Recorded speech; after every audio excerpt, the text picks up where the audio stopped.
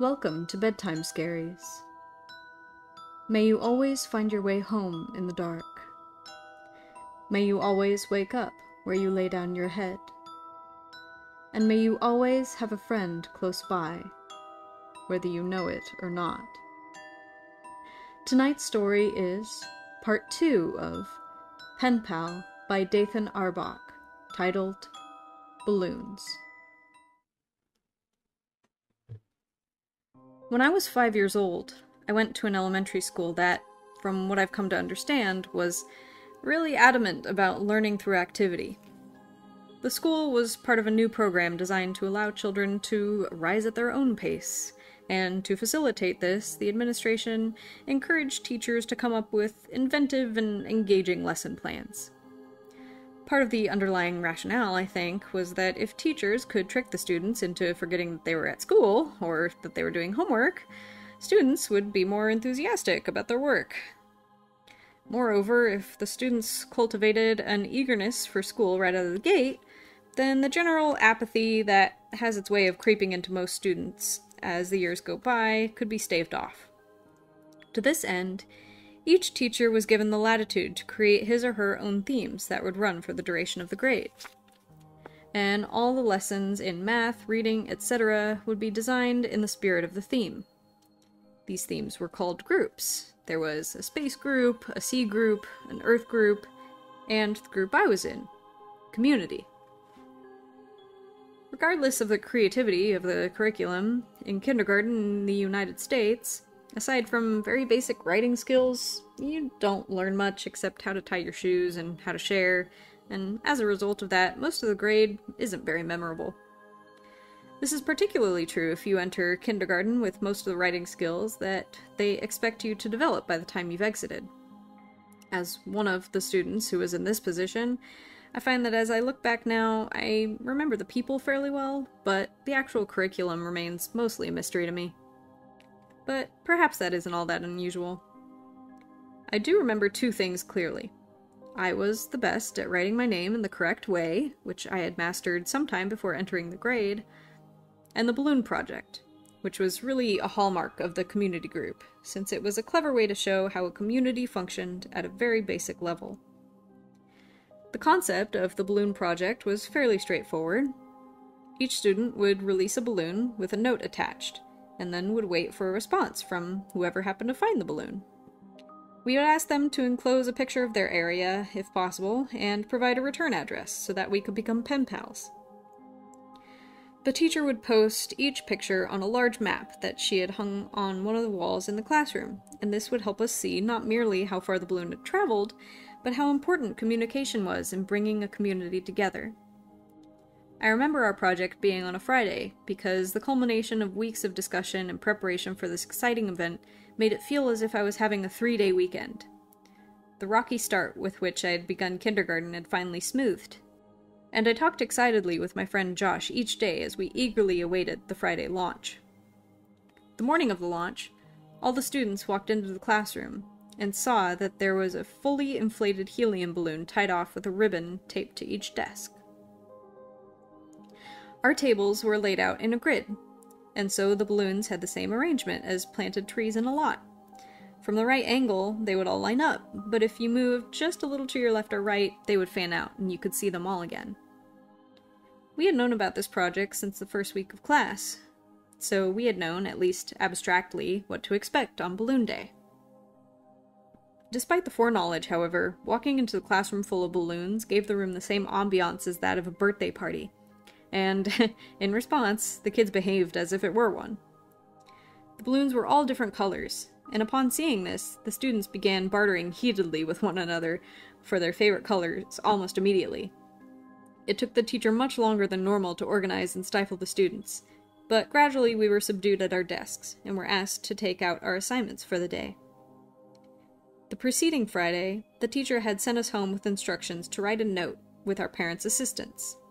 All of the notes had to follow a loose structure, but we were allowed to be creative within those boundaries. My note read something like this Hi, you found my balloon. My name is blank, and I attend blank elementary school. You can keep the balloon, but I hope you write me back. I like Mighty Max, exploring, building forts, swimming, and friends. What do you like? Write me back soon. Here is a dollar for the mail. At the bottom of the page, I drew a little stick figure saying, Hi, in a word bubble next to his head. And after a few moments of consideration, I drew a balloon in his hand. On the dollar I had brought from home, I had written four stamps right across the front, which my mom had said was unnecessary, but I thought it was genius, so I did it. Sitting on each of our desks was a marker, a pen, a piece of paper, and an envelope. The first part of the project for that day was to transcribe the notes we had composed at home, after which we would put it in the envelope and attach it to the balloon. If we wanted to, we could draw a picture on it. There was a palette of paint with some brushes and cups of water sitting on a long table just in front of the teacher's desk, for kids who elected to paint a picture on their note. It was a sunny day, and those who wished to paint their note were told to finish by a certain time so the letters could be set out to dry in the sun. Only a handful of kids were brave enough to send their art out into the world.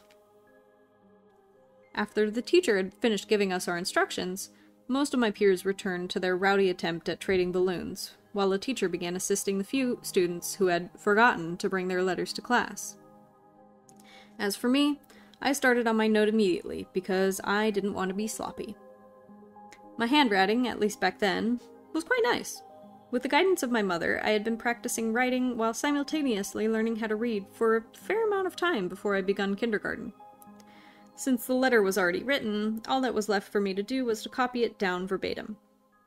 I had broken my left arm some weeks before, so the plaster cast made it difficult to reposition and steady the paper as I went.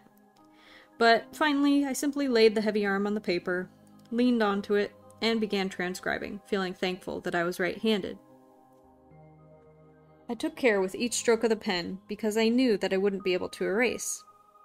I had never written anything important in pen before. Everything of any consequence that I had ever marked on the page was only as permanent as I wanted it to be. But now, each straight or curved line I marred the paper with had a tint of finality to it, and it only served to threaten the stability of my penmanship even more. But this was the way it had to be. Several years before, when the students were still writing their notes in pencil, there had been a storm the day after the balloons were released. Virtually no letters were mailed back. Although there was no way to determine exactly why that had been, it was suggested that the pencil marks washed out much too easily. So to be safe, we should use ink from that point on. I drew the last line on the paper and sat back with satisfaction. I interrupted my teacher's conference with another student to show her the letter, and she approved enthusiastically and sent me back to my seat. With my remaining time, I took to decorating the balloon. Mine was red, and that suited me just fine, with no interest in trading my balloon for another color. I tried to think of what I could draw on it. I decided that Spider Man would make the most sense.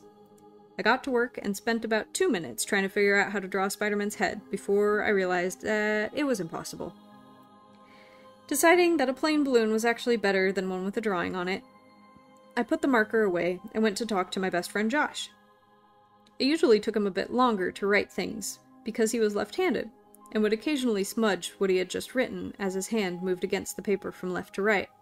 I went over to him that day, partially to help him, but mostly because I wanted to invite him to my house after school for what would have been our first sleepover.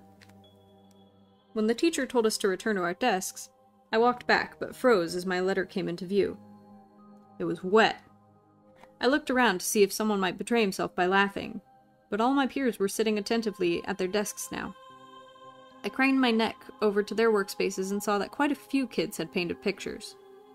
I realized that someone who must have been trying to dry a paintbrush had carelessly sprinkled water droplets onto my note. The ink had already begun to run in outward arcs where the water touched it. The letter was still legible in parts, but some words were nearly obliterated. Others were simply incomprehensible. Rather than being a fan of exploring, according to my letter, I was an avid explarting enthusiast. I wanted to know who did this, I felt that I had put more effort into writing that letter than any of my peers, so for someone to so carelessly deface it was unthinkable. But there were so many kids who had painted pictures on their notes that it would take too long to attempt to figure out who might have vandalized my paper. Attempting to repair, or at least minimize, the damage seemed more pressing. There was no time to recreate the letter in its entirety. I thought about rewriting just the damaged parts, but if I crossed them out and tried again, my pen pal would think that I didn't know how to spell. I reassured myself that there would be other letters and other chances, and walked quickly to the table where the paints were. I tore off a paper towel and tried to dry off the note as best I could without smearing the reanimated ink.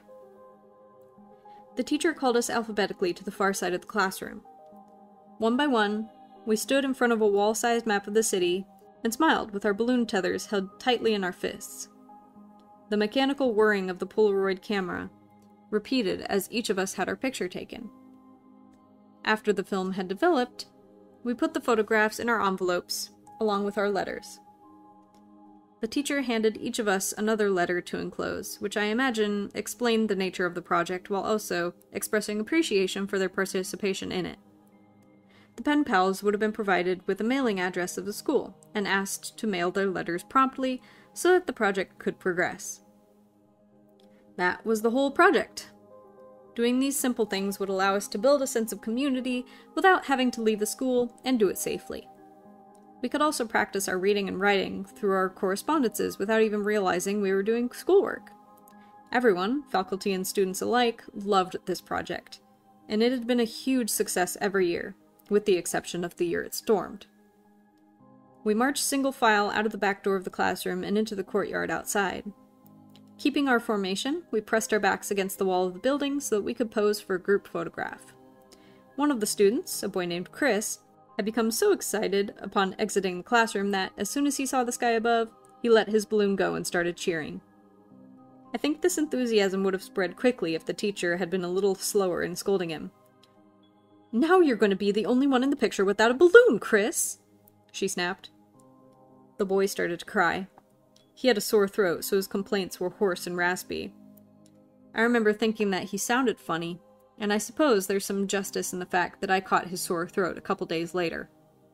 I would like to say that in a demonstration of solidarity, at least one other student let a balloon go, or even better, that we all let ours go and stood by Chris, balloonless and proud. But this was kindergarten. Most of the kids stood there with restrained amusement, while others advertised just how funny they found Chris's plight. In the end, Chris sulked at the very edge of the group picture and held his left hand out of frame, clutching an imaginary balloon with a frown etched so firmly on his face that it seemed like it might just outlast the lifetime of the picture that he posed for. After the photo was taken, we formed a circle around the teacher who said a few things about friendship and community that I imagine went mostly unheard by the students, whose attention was now myopically focused on loosening the grip on their balloon's tethers. When her speech was finally over, the countdown began. Five, four, three, two, one and a half. There was a collective groan in protest. She did this frequently. Although we didn't know what this number was, we knew it was a way of stalling. One! All at once, each kid yelled whatever their chosen launch word was, and the courtyard became a carnival as two dozen brightly colored floating balls filled the sky. We ran chasing our balloons and tried desperately to distinguish them from the other ones of the same color. Cross currents and updrafts flung the balloons wildly in different directions, and their human counterparts mirrored their movements on the ground below. Several kids collided with one another as they ran frantically chasing their balloons, but instead of fights, there were laughs. Despite the ruckus, I heard a rogue blast off, and shot my eyes down from the sky to see Chris releasing a bright green balloon that the teacher had just given him so that he could participate. As the balloons reached ever upwards, it became almost impossible to track my own balloon, and this brought a new kind of excitement. Where would it go? Who would find it? I remember that day so clearly. When I think about it, I can almost feel a phantom sun on my face, and can sometimes just faintly, smell my teacher's perfume. It was one of the happiest days I ever had. Over the next couple weeks, the letters started to roll in.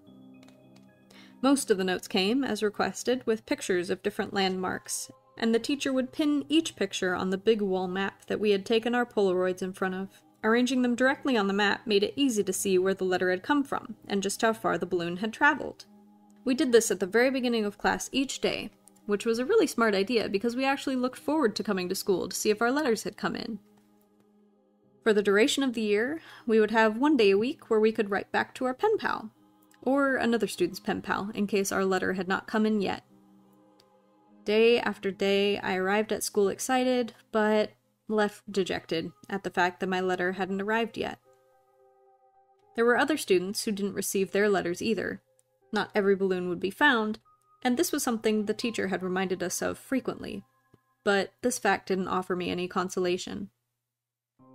I worried that all my hard work had been for nothing, and I started to resign myself to the idea that I would have to write to one of my peers' pen pals if I wanted to have anyone to write to at all. But then, one day it came. My letter was one of the last to arrive. Upon entering the classroom, I looked at my desk and saw that, once again, there was no letter waiting for me. But as I sat down, but as I sat down, the teacher approached me and asked me about the letter I had written. She asked me if I remembered what I had sent away with the balloon. I was a bit taken aback, but I told her about what I wrote, and about the dollar, and about the drawing. When I finished, she brought her hand from behind her back and said with a smile, I think this is for you then. I was delirious with excitement, and my confusion regarding her question about the letter I had sent ended when I saw the envelope. On the back, right over the seal, there was a drawing of a stick figure holding a balloon, just like the one I had drawn. The letter really was for me. I must have looked ecstatic, because as I was about to open it, she put her hand on mine to stop me and said, Please don't be upset. I didn't understand what she meant. Why would I be upset now that my letter had come? I was mystified that she would even know what was in the envelope, but of course, I know now that she had screened the contents to make sure there was nothing obscene. But, sitting at that desk, I was baffled by her concern that I would be disappointed. My balloon hadn't gotten lost. The person who found it hadn't just thrown my letter away. All other possible details seemed negligible and insignificant to me. But when I opened the envelope, I understood her reaction. There was no letter. The only thing in the envelope was a Polaroid, but I couldn't make out what the image was. It looked like a patch of desert, but it was too blurry to decipher. It appeared as if the camera had been moved while the picture was being taken. I turned the Polaroid over, but there was nothing on the back. It was just a Polaroid, and nothing more. There wasn't even a return address. I realized that I wouldn't be able to write back, and since there was no way to tell where the picture was taken, it couldn't even be placed anywhere on the map. Instead, my teacher tacked it on the side of the map next to the compass rose. Out of the way, but still a part of the project. I was crushed. When I got home, my mom asked me how my day was, and so I told her. I told her I'd gotten a letter from my pen pal, and she became visibly excited. I think she had always known that I might never get a response, and as time went on and my potential contact remained silent, her consolations shifted from optimism in possibility and potential to realism and acceptance. So, when I actually received something, she was both shocked and overjoyed for me, since she knew how badly I had wanted someone to write me back. When I told her that there was no letter, only a Polaroid, she joked that maybe my pen pal had bad handwriting and was embarrassed after seeing how good mine was. I didn't think this was actually the case. Uh, my letter had been damaged before it even touched the sky.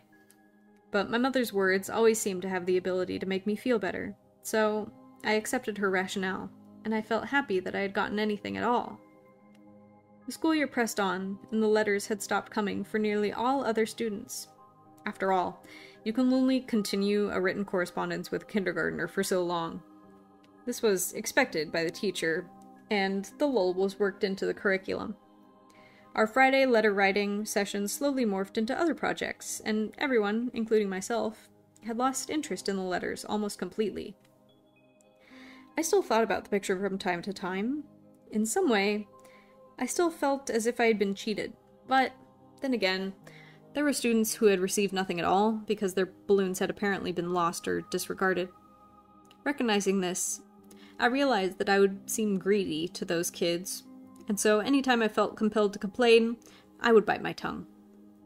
Gradually, I internalized this pretended acceptance and simply moved on, both in appearance and thought. Until I got another envelope. My excitement was rejuvenated fully, and I secretly reveled in the fact that I had just gotten a letter while nearly all the other pen pals had abandoned their involvement. Most of my classmates had written back and forth with their pen pals several times, and the ones who received nothing at all were probably the victims of bad weather and bad luck. The first envelope I had received, however, was tantamount to someone laughing in my face. It seemed as if someone had gone through just enough trouble to let me know that he didn't care. Holding the correspondence in my hand validated my objections to the original arrival. It made sense that I received another delivery. There had been nothing but a blurry picture in the first one. This was probably to make up for that. But, again, there was no letter at all. Just another picture. This one was more distinguishable, but not fully comprehensible. The camera was sharply angled towards the sky. The photograph caught the top corner of a building in the bottom left of the frame, but the rest of the image was distorted by a lens flare from the sun. I turned the Polaroid over, but again, there was nothing written on the back. My teacher put her hand on my shoulder and said, A picture's worth a thousand words, right? before walking away towards her desk. A picture's worth a thousand words. I had never heard that said before, and I sat there for a while trying to decide if I believed it. Because the balloons didn't travel very far, and because they were all launched on the same day, the board became a bit cluttered fairly quickly. If a letter came in with a picture of a place that wasn't already overrepresented on the map, it would be displayed, but otherwise the correspondences were distributed to their recipients, so we could take them home as keepsakes for the project. A week or two before school year ended, the remaining pictures were taken off the map and handed out to their owners. My best friend Josh took home the second highest number of pictures at the end of the year. His pen pal was very cooperative and sent him photos from all around the neighboring city. Josh took home, I think, four Polaroids. I took home nearly 50. The envelopes had all been opened by the teacher, but after a while I stopped even looking at the pictures. However, the photographs were, if nothing else, a collection, so I saved them in one of my dresser drawers that housed my other collections. The problem with collections, I had found, was that either there was simply no way to gather all the things in the series, because there was no end to it, or there would always be a last item that made your collection incomplete. In my mind, I suppose, the things in the collection weren't as valuable as the completeness of the collection itself. My drawer was a mausoleum of my incomplete collections of rocks, baseball cards, comic book cards, and little miniature baseball batting helmets that my mother and I would ceremoniously buy from a vending machine at Winn Dixie after T ball games.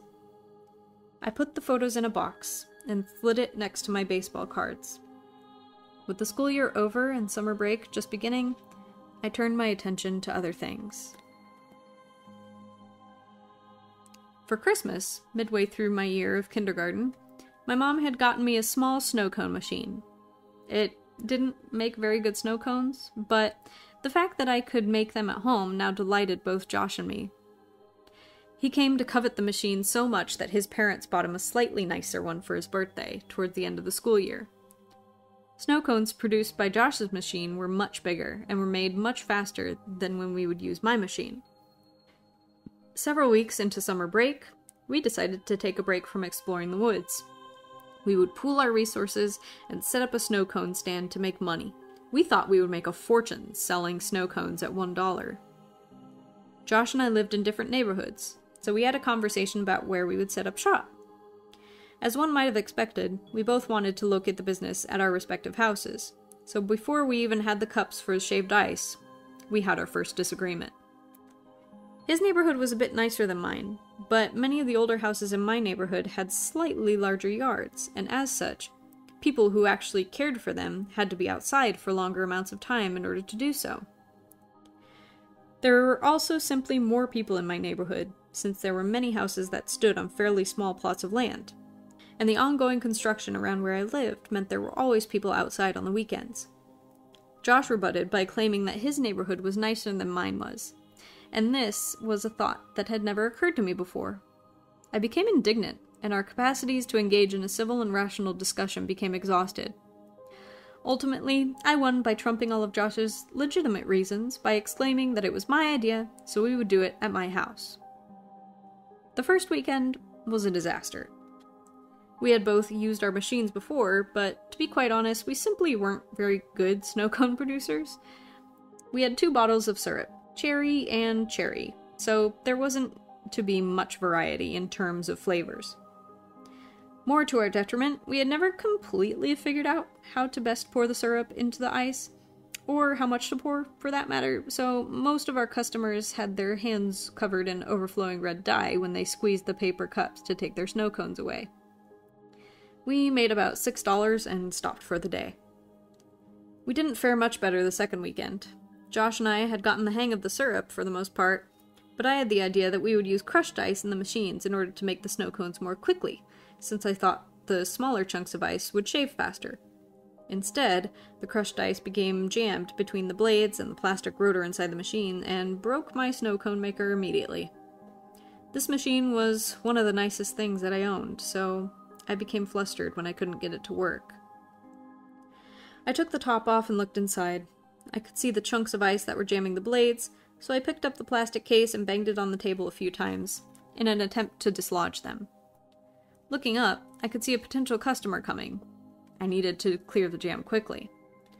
Without thinking, I pushed my hand down into the cavity of the snow cone machine and began carefully wrestling the ice out of the space between the blades and the inside wall. I looked up again and recognized the person from the weekend before. Forgetting that Josh's machine was working fine, I turned my attention back to the problem so I could be ready for our first return customer. I could feel the ice begin to give and pivot a little as the heat from my fingers melted it. I almost had the problem resolved when I heard Josh say, Hey, what's this button do? I looked over to Josh and saw he had his finger on the start button of my machine.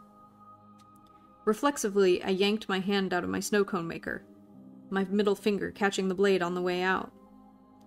There was a period of just a few seconds where I thought I had just scratched myself, but a thin red line soon began to quickly draw itself horizontally along the underside of my finger. I watched as the line widened and spread as blood began dripping from my hand. I shouted at Josh while he prepared a snow cone on his machine for our anticipated customer, and he said that he was only joking, that he wasn't really going to push the button. He looked genuinely remorseful from what I could tell, and though he seemed to have a problem looking at my hand as he apologized, I think now that Josh had a fear of blood. Josh had already finished pouring the syrup before the customer got to the table, and he held it gingerly so that it wouldn't melt. Holding my finger in the opposite hand, I looked around for something to wrap it in. By the time the customer got to our stand, the blood had welled up in the tight fist that I was making around the finger and had begun dripping down my forearm. As Josh held the snow cone out to the man, I saw our patron's eyes dart back and forth from the cherry red ice to my blood red hand. His expression changed from concern to amusement, and finally he said, You boys sure put a lot of yourself into your business. The man followed his exclamation with a guffaw so long and loud I could still hear it when I went back to the house to show my mom what I had done to myself. When I got back outside, Josh said the man had bought the snow cone we decided to quit while we were ahead, so we packed up and went inside. It turned out that my machine wasn't irreparably damaged. Once the ice melted, the jam was cleared, and it began to work again without difficulty. This was good news because business picked up the following weekend. Josh and I had taken a substantial break from our explorations in the wood due to the patch of trees that blocked our path, and during the hiatus, I had made a new sign that said in big, bold letters, Free snow cones! Josh said matter of factly that we weren't just going to give snow cones away, and I laughed as I pointed at what I had written in faint pencil just under the advertisement. Just kidding. My neighbor, an elderly woman named Miss Maggie, was our first customer that day. She pretended to be outraged by our ruse, but happily paid us. Before we left, she told us that she would look for us in the lake later that day if we decided to go swimming. We had many more customers that day, and they were all good sports about our trick, including the man who returned for a third time. We made $18 that day, and a bit less the following weekend. The fifth weekend would turn out to be our last day of business. My mom would take my snow cone machine away only a couple days later. When I protested, she told me she didn't want me cutting my hand off, although I had injured myself weeks ago. Even at that age, I thought this late reaction was bizarre. Because Josh and I both had a snow cone machine, we each had a separate stack of money that we put together into one pile, and then we split it evenly. When there was an odd number of bills, we would play rock, paper, scissors to see who would get to keep the extra bill. We called this decision making ritual gaming. That day, we made a total of $17, primarily from the same people we had been selling to since we started our business. After we stopped selling for the day, Josh was divvying up the spoils, and as he paid out my fourth dollar, I was consumed by a feeling of profound bewilderment. The dollar said for stamps. I must have vocalized my surprise because Josh noticed my shock and asked if he had miscounted. No, that dollar. Josh, that's a dollar I sent. What? That's the dollar, man. That's the one I sent. What dollar? What are you talking about?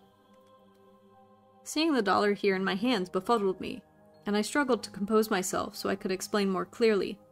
From the balloon. I sent off the balloon, remember? I sent it off with the balloon, remember?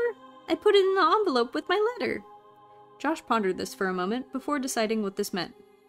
That's so cool! he shouted. As I thought about it, I came to agree. The idea that the dollar had made it right back to me after changing so many hands staggered me. I had no way of knowing how far the balloon had traveled, but whatever the distance had been, it was still amazing. Whoever found my balloon must have bought some stamps at the post office, and then slowly and incrementally the dollar had worked its way right back to me. I rushed inside to tell my mom, but my excitement coupled with her distraction from an in progress phone call made my story incomprehensible to her, to the point that she responded simply by saying, Oh wow, that's neat, just to placate me. Frustrated, I ran back outside and told Josh that I had something to show him. We thundered up the steps to my front door and ran immediately to my room. I opened the collection drawer, took out the box of envelopes, and showed Josh some of the pictures. I started with the first picture, and we went through about ten before he lost interest in looking at the poorly angled and meaningless Polaroids. I grew irritated at his disinterest. My pen pal sent these pictures, and today, after countless transactions, the dollar he had used to send the photographs had landed right back in my hand. This was almost too much for me to take in, the sheer improbability of it all. Even the most minor alteration would have changed things entirely. If Josh had paid the first dollar to himself, I probably would never have even noticed my returning defaced currency. Josh, however, had become completely disengaged and asked if I wanted to go play in the ditch before his mom came to pick him up. I responded with a distracted and somewhat dismissive agreement as I shuffled through the envelopes. I'm not sure how the routine was born, but the ditch had become a battleground to Josh and me. Nearly every time we stepped into the ditch, one of us would lob a clod of dirt at the other, and this would catalyze a full scale assault in both directions. It probably started with a single, playful toss of dried mass of compacted dirt, but it became nearly impossible for us to step into that arena without almost instantly entering into a standoff. We enjoyed these battles so much and sought them out with such frequency that the ditch, lowercase, became the ditch, capitalized, without us ever noticing. That day was no exception to the rule of combat. But the war game was persistently interrupted by rustling in the woods around us. We were used to these sounds. There were raccoons and stray cats that lived in the woods by my house, but there seemed to be too much noise coming from the forest floor for it to be caused by either of those things. As we continued our battle, We traded guesses at what the source of the ruckus was in an attempt to scare one another. Playing games like these gradually evolved into the games I would play by myself when exiting the woods as the sun rolled away. My last guess was that it was a mummy, but in the end, Josh kept insisting it was a robot because of the sounds that we heard. As we were leaving, I said that if it was a robot, it would have made much more noise, but Josh shook this off and became a little serious. He looked me right in the eyes and said, You heard it, didn't you? It sounded like a robot. You heard it too, right? I had heard it, and since it sounded mechanical, I agreed it was probably a robot. It's only now, looking back, that I understand what we heard. When we got back to my house, Josh's mom was waiting for him at the dining room table with my mom. Josh told his mom about the robot, our moms laughed, and Josh went home. My mom and I ate dinner, and then I went to bed. I tried to sleep, but I was feeling restless. Josh might not have been interested in the photos, but after seeing that dollar, I could think of virtually nothing else. Before too long, I climbed down from the top bunk and took the box of envelopes out of my dresser drawer. I took out the first envelope, set it on the floor, and placed the blurry desert Polaroid that had been inside of it on top. I laid the second envelope right next to it and put the oddly angled Polaroid of a building's top corner over it. I did this with each picture until they formed a grid that was about 5 by 10. I was taught to always be careful with things that I was collecting, even if I wasn't sure whether they were valuable or not.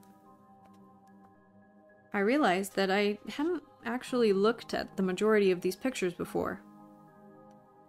I may have paid them a passing glance when I opened the envelope to look for a letter, but upon being reliably disappointed, I would simply close the envelope and put it with the others. As I looked at them now, I noticed that the pictures gradually became more distinct. I scanned my eyes over the Polaroids. There was a tree with a bird on it, a speed limit sign, a power line, a group of people walking into some building.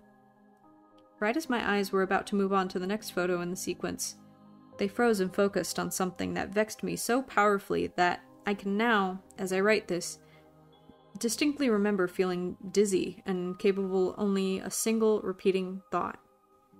Why am I in this picture? In the photograph of a group of people entering the building, I saw myself holding hands with my mother in the very back of the crowd of people.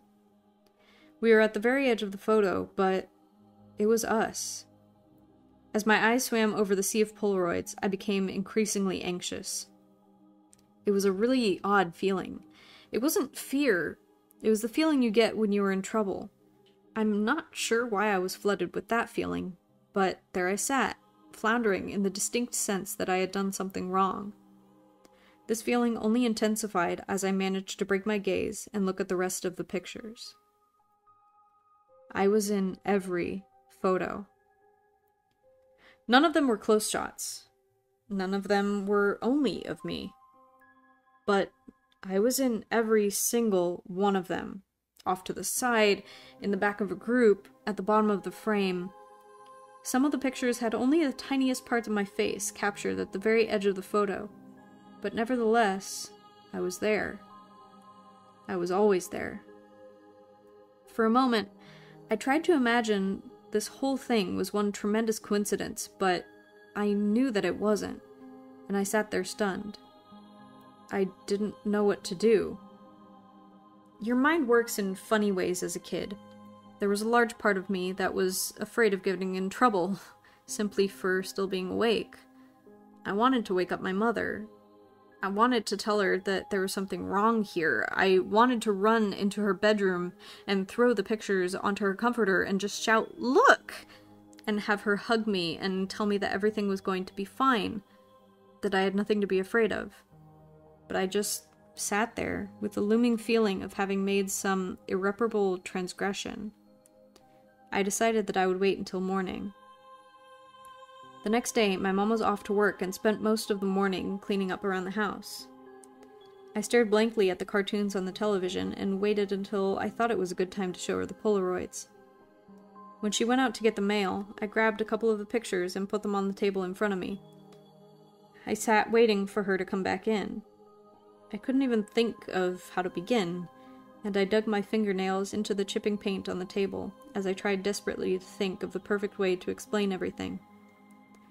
When she returned, she was already opening the mail. I heard her throw some junk mail into the trash can, and I took a deep breath and forced the words out of my mouth. Mom, can you come here? I have these pictures. Just give me a minute, honey. I need to mark these on the calendar. After a moment, she came and stood behind me and asked me what I needed. I could hear her shuffling with the mail, but I just looked at the Polaroids and told her about them. I reminded her about the balloon project and how I had only gotten a picture in my first correspondence. I told her that after that one, they just kept coming, but I never said anything because they were just stupid pictures. I dug my fingernails harder into the table and told her that I had saved them all, and had gotten so excited when the dollar came back that I stayed up late looking at all the photos. As I went on in my explanation and pointed to the pictures, her frequent uh huhs and okays decreased, and she was suddenly completely quiet and making only a little noise with the mail. I had run out of things to say, but I couldn't turn around and face her. I waited for her to say something, but the next noise I heard from her sounded as if she were trying to catch her breath in a room that had no air left in it. At last, she subdued her struggling gasps and simply dropped the remaining mail on the table right next to me and ran to the kitchen to get the cordless phone. Mom? I'm, I'm sorry. I-, I didn't know about these. Don't be mad at me. With the phone pressed to her ear, she was alternating running and walking back and forth while shouting into the mouthpiece. I couldn't understand what she was saying or who she could be calling. Was it my teacher? No, this wasn't her fault. I nervously fiddled with the mail that was sitting next to the Polaroids I had arranged. The top envelope had something sticking out of it that I thoughtlessly and anxiously pulled on until it came out. It was another Polaroid. Confused, I thought that somehow one of my Polaroids had slipped into the stack when she threw the mail down. But when I turned it over and looked at it, I realized that I had not seen this one before. It was me, but this one was a much closer shot. I was surrounded by trees and was smiling. But it wasn't just me. Josh was there too. I felt my mouth go dry as I realized that this was from yesterday. I started yelling for my mom, who was still screaming into the phone. As I called her more loudly, she shouted more loudly into the phone to compensate, and this exchange repeated until she finally responded with, What? Suddenly, I had her attention, but I didn't know what to do with it. I could only think to ask, Who are you calling? I'm talking with the police, honey. But, but why? I'm sorry, I didn't mean to do anything. Please, Mom. She answered me with a response that I never understood until I was forced to revisit these events from the earliest years of my life. She grabbed the envelope off the table, and the picture of Josh and I spun and slid, landing next to the other Polaroids in front of me. She held the front of the envelope up to my eyes, but I could only look at her and watch as all the color began draining out of her face, as if something was siphoning the life right out of her. With tears welling up in her eyes, she said she had to call the police because there was no postmark. Sleep tight.